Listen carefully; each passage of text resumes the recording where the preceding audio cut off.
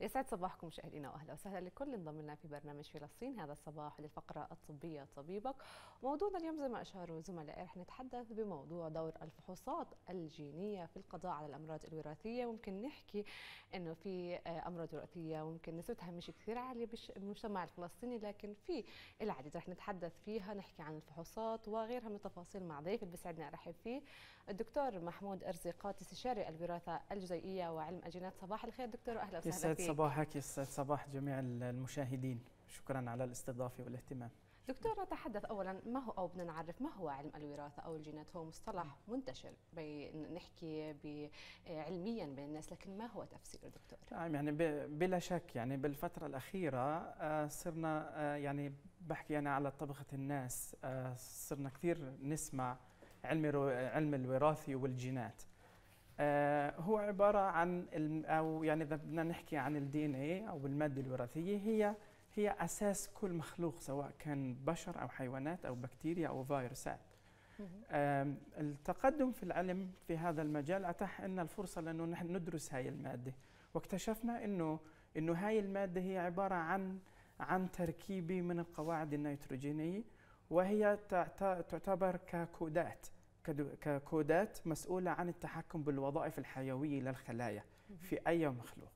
ف ف ف فمن خلال دراسة هاي المادة الوراثية ومقارنة ناس عندهم أو بيعانوا من مشاكل صحية معينة ومقارنتهم مع ناس طبيعيين تمام لقينا في هناك في اختلافات على مستوى المادة الوراثية. الأمر اللي خلى العلماء أنه ينتبه على أنه قد تكون مسببات الأمراض بشكل عام هي نتيجة تغيرات على مستوى المادة الوراثية.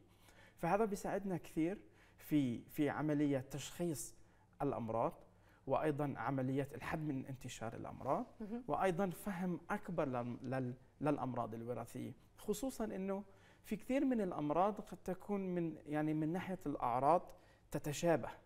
فالطبيب يعني يعني بيوقف حائر.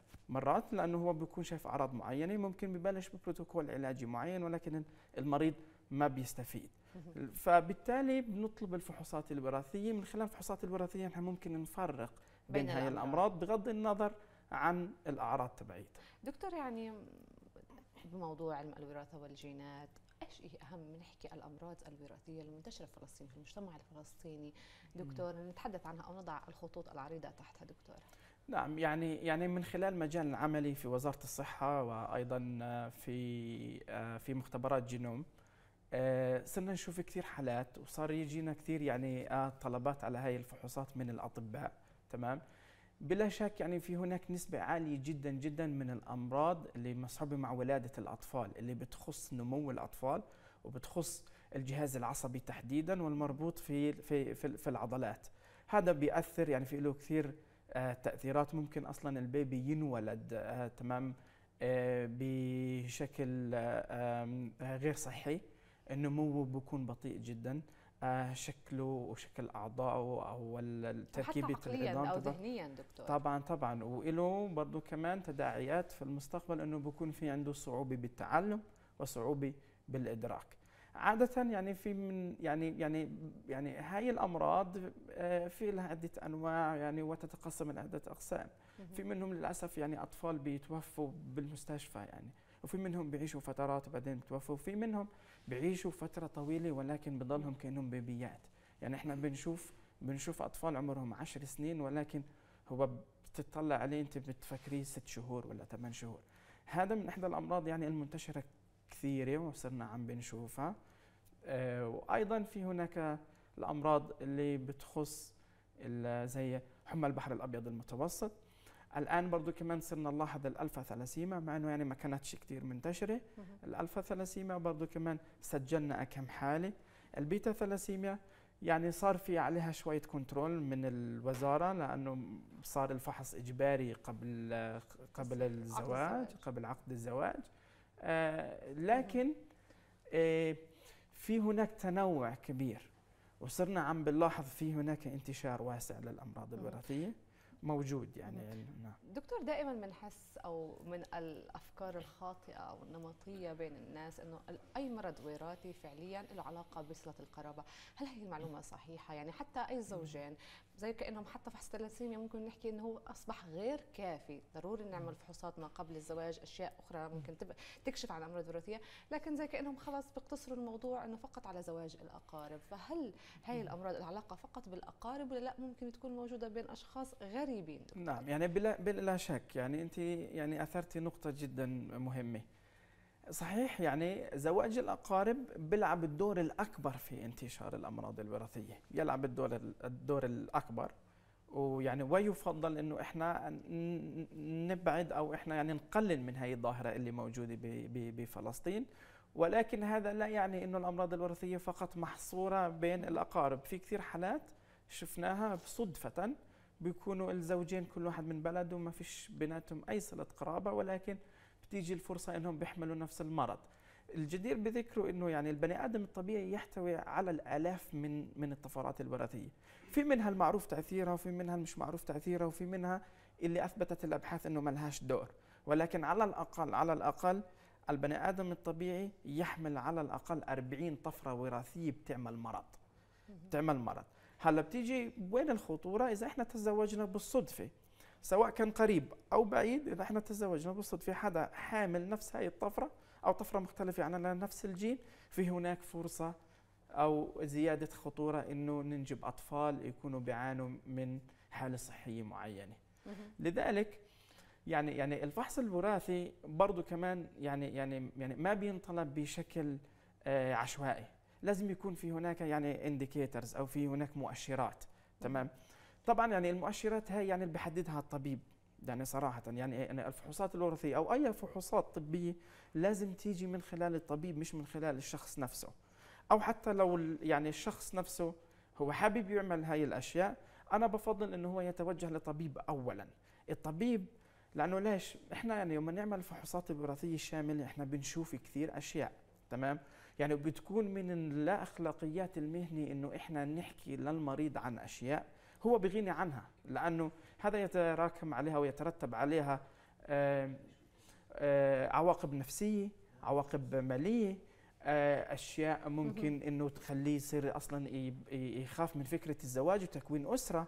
علشان هيك لازم يكون في طبيب انفولد في الموضوع. الطبيب هذا بياخذ التاريخ الطبي للمريض أو للشخص والعائلة بشكل عام. وبعدها هو بينصحوا إنه آه نعمل لك الفحوصات الوراثية وكمان غير هيك إنه إحنا ممكن نركز على جانب معين في الفحوصات الوراثية مش على كل شيء يعني مثلا عائلة عندهم مثلا مرض بصيب الأعصاب. مثلا فبتكون الفحوصات لها علاقة دكتور بالجينات لها علاقة بالأعصاب بالضبط طبعا طبعا يعني يعني يعني يحبذ ذلك لأنه تمام؟ فعليا دكتور حسب ما بعرف إنه الجينات هو عالم كبير عالم و... كبير ووصل. نعم. دكتور نتحدث عن أهمية في حال يعني في سؤال دائما بنسأل إنه طب أنا عرفت إنه في مرض وراثي أنا رحت عملت كل هاي الفحوصات في ناس تسمي ممكن تسميها وجعة رأس نعم. فهل هناك نتيجة من هاي الفحوصات هل آه. ممكن إن إحنا نقضي على هاي الأمراض الوراثية ممكن إن إحنا نحمي أطفالنا من هاي الأمراض الوراثية ممكن تأثر على حياتهم على حتى استمرارية وجودهم على قدراتهم العقلية على إنهم يعيشوا حياتهم بطريقة طبيعية. فهل هناك نحكي فائدة من هاي الفحوصات؟ هل ممكن هناك تدخل طبي ممكن إحنا نحمي فيه طفلنا؟ طبعا طبعا. يعني شوفي يعني إحنا هنا يعني يعني بتساعدنا الفحوصات الوراثية في شقين. الشق الأول يعني للطفل المريض أو الشخص المريض إحنا بنساعد الطبيب وبنساعد المريض في الوقوف على السبب الحقيقي للاعراض اللي بيعاني منها. فبالتالي الطبيب بيتخذ الإجراءات الصحيحة اللي خاصة بهذا المرض. ممكن إنه يكون علاج أو ممكن إنه يكون هو وسيلة أو أو أو life style معين يعيشه المريض بحيث إنه المرض ما يتفاقم عنده. تمام؟ هذا هذا هذا الشق الأول. الشق الآخر الان الآن وهذا إحنا بنعمله بمختبرات جينوم تمام؟ إحنا أول مختبر متخصص مش بس إحنا بنشخص للمريض وبنحكي له okay أنت عندك مرض وراثي وبعدين الطبيب بيعالجه لا. للأجيال القادمة للحمل الجاي لهي العيلة نحن بنساعدهم بتقنياتنا المتوفرة بعدم انتقال هذا المرض من الآباء إلى الأبناء وذلك بمساعدة الأطباء ومساعدة مراكز الزراعة. بنوجه الكابل على مركز الزراعة وبيعملوا إخصاب خارج الرحم. هاي البويضات بعد الإخصاب بتصير أجنة. إحنا بنقوم بعملية فحص وراثي لهي الأجنة وهي لسه خلايا. بيكون عندنا تصور تام أو البصمة الوراثية لهذا الجنين وبنختار الأفضل وبنختار اللي ما نتورث له هذا المرض الوراثي وبنرجعه لرحم الأم. الحمد لله إحنا يعني إحنا عمرنا تقريبا 18 شهر. سجلنا أكثر من 32 ولادة وعندنا تقريبا يعني 53 مرأة حامل. هذول كلهم عائلات. في عندهم اوريدي في البيوت آه، أطفال قد يكونوا اثنين أو أكثر في بيوت فيها خمسة.